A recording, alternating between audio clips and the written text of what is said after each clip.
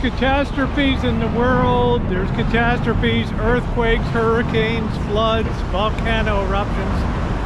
But then there's disasters that are involving transportation, and some of them are horrific and spectacular. I'm here in the town of Kingsburg, California today to relay a happening that took place here on February 4th of 1946, a day that stunned and shocked California and the world. It happened right here. Let me tell you the story.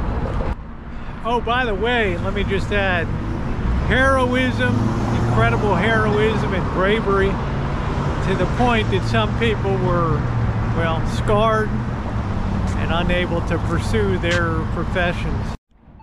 I want to give you some context because I want to hear your opinions because in my opinion this is this is just a horrific setup here that not only led to that tragedy but I'll tell you some other tragedies too. This is Highway 99 running north and south up and down the middle of California's 400 mile Central Valley. Kingsburg is a center of commerce. It's known as Little Sweden here in the Central Valley And you can see when you exit Highway 99, this is Sierra Avenue going into the town of Kingsburg. What I want you to note is the fact that Simpson here, this street is Simpson here, comes in at an oblique angle. It doesn't intersect perpendicular to Sierra Street. It comes in at an angle. And that is a real crux of how, how this horrific accident started. Let's make our way across the street here. The first principal in our story was a 21 year old truck driver who had just finished a three year hitch in the military and he took some of his skills and he became a truck driver here in the Central Valley running fuel between the town of Hanford and various points through the valley. This is the track that runs from Los Angeles up to Oakland, a very heavily trafficked route. Not only for freight, but for passenger tra trains as well. And notice again how this meets at a very oblique angle here, meaning it's very sharp. It's not perfectly perpendicular uh, to the railroad tracks here. Anyway, as Mayor was driving up his truck on Highway 99 over here and exited the highway and turned onto Sierra Street, he approached this intersection right here, Simpson. And as he pulled through, there were several train cars sitting on this first set of tracks that blocked his vision to see what was coming up from the south which was a afternoon early evening train from Los Angeles.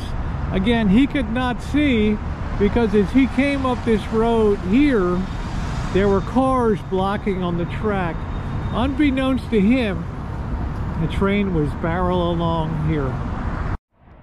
They told me if I came along here, I might see some of the remains of the horrific fire that took place on that February late afternoon, early evening of 1947. And sure enough, continues to exist here.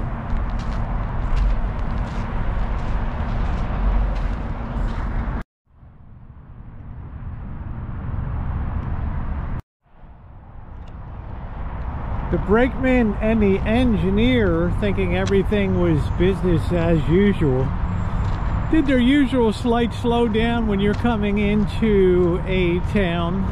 There's some controversy and dispute about whether the what they call the wigwag arms came down and warned traffic about what was coming. But to their horror, the engineer and the brakeman, they could not believe what they were seeing on the line up here.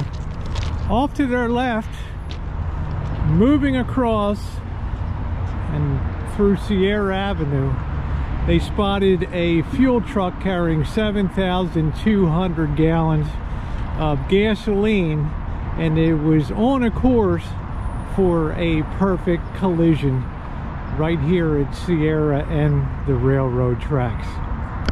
The train itself con consisted of nine cars, a dining car, and an observation car. And it had some enlisted men who were on the train and being post-war people were feeling good. Hey, why don't you move up to uh, first class and enjoy yourselves. Also, there were 14 members from a hockey team out of San Francisco called the San Francisco Shamrocks. And they were contemplating their game up in Fresno that was to take place that evening, about uh, 20 miles north of here. Their lives would be changed in a dramatic and horrifying way. The engineer immediately applied the brakes, but it was too late. With terrific force, the train slammed broadside, displacing the tanker on top of the truck bed and igniting it into a sea of fire with flames that, well, within seconds reached 100 feet high here. And from Highway 99, people were claimed to have said that they thought that the bowels of hell had opened up in Kingsburg. Shocked? Doesn't even begin to describe that late afternoon scene. Heroes? Oh yes. Let me tell you about some of the heroes of that fateful day. After impact and observing flames over 100 feet high and 7,000 gallons of fuel spread out for a, a great distance here, creating literally a lake of fire, Porter J.C. Ellis on the train heroically jumped off the train and took it upon himself to start smashing windows and he helped over 20 passengers escape what would have been absolutely certain death.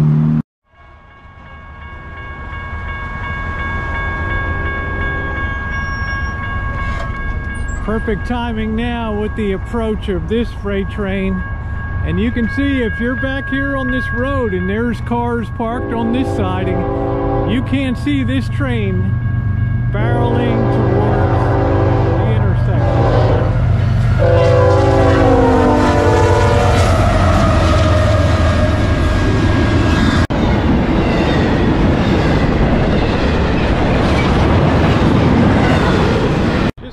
that train barreling through gives me the willies and just makes me think, oh, how terrifically horrible that day was.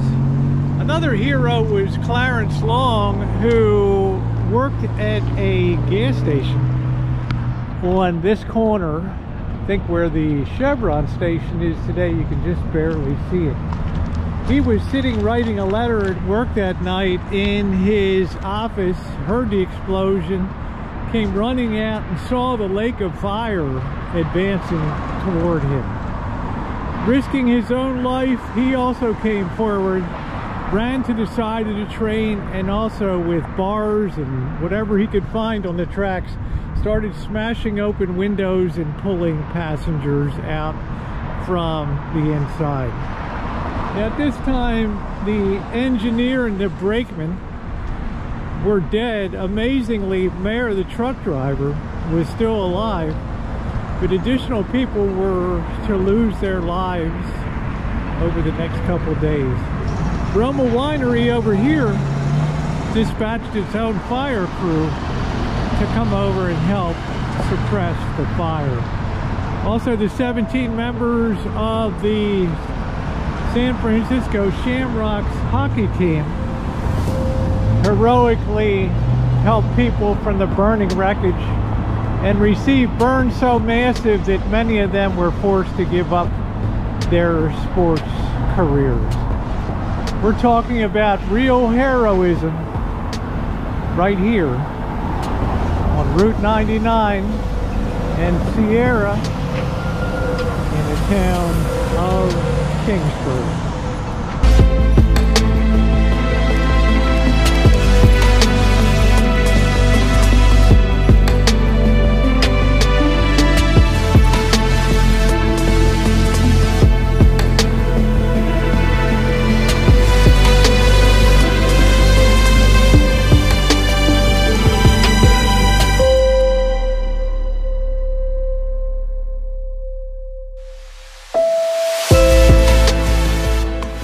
Happen to think the poor design of this intersection with the fact that cars could be parked on the siding blocking view was a major contributor to that disaster on February 4th of uh, 1946 or 47. I forgot for the moment what it was. But you know, that August 22nd of this year, almost, well, the same exact thing happened. But luckily for the town of Kingsburg, it was a 18-wheeler uh, or semi loaded with goods that moved across the track here and was plowed into by an oncoming train, killing and totally decimating the uh, truck. Poor design? I think it is. And uh, hopefully in the future, Kingsburg won't have to suffer another disaster like they did with those two. Well, I'm going to close it out. Hope that uh, you uh, got some benefit from watching this video. Please like and share. I'd like to bring unique moments of history to life in my travels. What I call unique travel. Travel out of the ordinary. And I hope that you will subscribe, hit the bell for all notifications. Learn a little bit of history along the way history told in a way, not like a boring classroom, but in real life field trips. From Kingsburg, California, in the heart of California's Central Valley. Thanks for watching. Thumbs up appreciated. And by the way, if you enjoyed the story, please share it out on your social media. Thanks everybody.